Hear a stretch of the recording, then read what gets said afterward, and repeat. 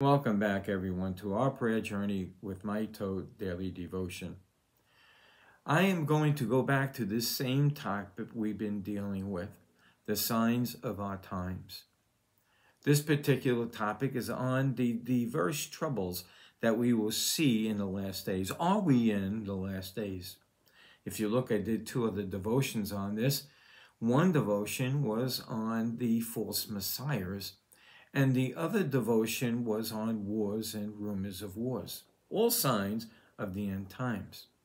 But at the same time, God said, Jesus said, that not to be troubled and the time is not yet. So we could just be in a cycle. And that cycle could be a cycle that we've seen throughout history and throughout the Bible. You ever hear of a revival or an awakening to God? Well, we see this a lot in the Old Testament, especially, but we even see it today. What has happens from time to time is God gives us order. We call on God, we follow the same procedures together, we follow and walk together in brotherly love, and then we slowly move away from God and forget Him. And then we're in a lost state. It's like the ebb and flow of the oceans. But the cycle gets worse and worse every time we look at it because the evil gets more and more. When you go out through history, there were millions of people that died before, but the last century was the most horrific of all time. Are we closing in on the same thing now? I know you could put on YouTube channels, you can hear all of the fearful things they're speaking about, the diverse tribulations that we are facing. We went through a pandemic. They speak about food shortages, global warming. They speak about wars and rumors of war, which I talk about another one. And with that, famines that will come, and famines that are coming other places, water drying up in the rivers. In fact, I saw one video. I always thought that was maybe natural, but it may be because we diverted water for, da- from, for dams. But whatever the case is, when the human heart gets further away from God and godliness, things start to spin out of control. But there's a way to bring it back. But we seem again to escalate destruction more and more.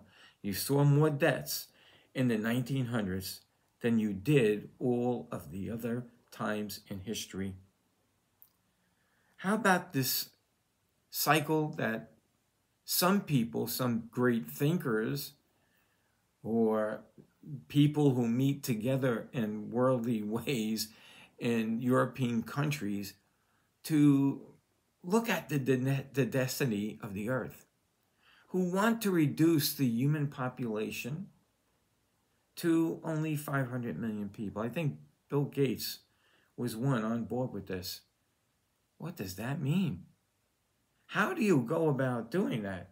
Now, I'm not saying he's actively trying to do that, but how would you go about doing that? It seems the evil of men have no bounds.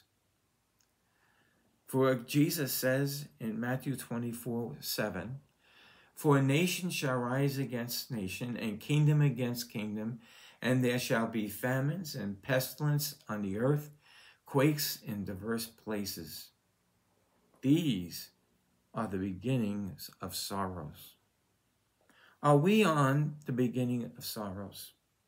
I know a Christian is called to pray this way Thy kingdom come, thy will be done. And that I pray toward. I want God to set up his kingdom so we don't see all of this starvation and all of these things going around. But what I also see in history is that many times we had cycles. In the Old Testament, in, in Exodus 2.23, it says, Under bondage of Egypt, they cried, and the cry came to the Lord, and the Lord Elohim heard them, and he moved. In Judges 3.9, and when the children of Israel cried unto the Lord, the Lord raised up a deliverer. In Judges 10 10, and there's many more. And the children of Israel cried unto the Lord, saying, We have sinned against thee, for we have forsaken you, and you, and we have also served Baalim. And God hears the cry of his people. And that's the thing. You know, I was wondering, how many people does it take to cry out and say, God, we need this evil removed from us. We need a great revival. We need an awakening. How many people does it take? It? Maybe it's one more. So this day, cry out to the Lord and ask Him to intervene that we would not, in this cycle, see the goals of some people to reduce the served population to 500 million people. I mean, already in certain countries, they're allowing euthanasia of young adults not just sick people, but young adults can have an assisted suicide. Have we gone more evil than ever before? We're on the verge. If God doesn't intercede or come back, we're in big trouble. So let's cry out together that God would do a great work in this earth and he would come back and send us a deliverer, even if it is Jesus Christ himself who comes and takes his people out. But don't leave those behind that you did not tell about Jesus. So until next time, may Jesus increase as we decrease.